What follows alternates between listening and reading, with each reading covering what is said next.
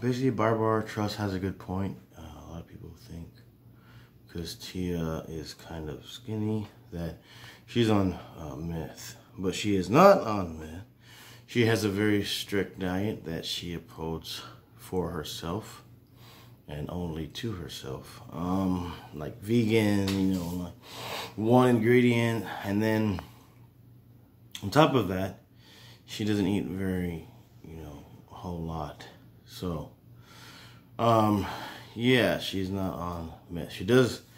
She, I would say she needs to eat, you know, and then she has a fast, but pretty fast metabolism on top of that. So, you know, she doesn't. She, you know, she's not as heavy as me. You know, I'm like I'm like the opposite. You know, like we're opposites in a lot of ways, and that's one of the ways. You know, I eat like too much food and high calorie food and a lot of food, a lot of sodas. You know, I drink like five sodas a day and uh, like uh, stuff like that. So there you go.